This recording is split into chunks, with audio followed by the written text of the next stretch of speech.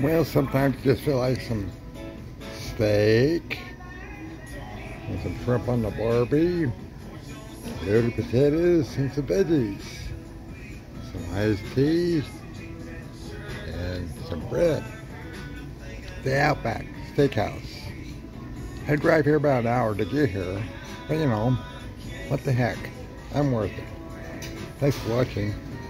I'm gonna eat.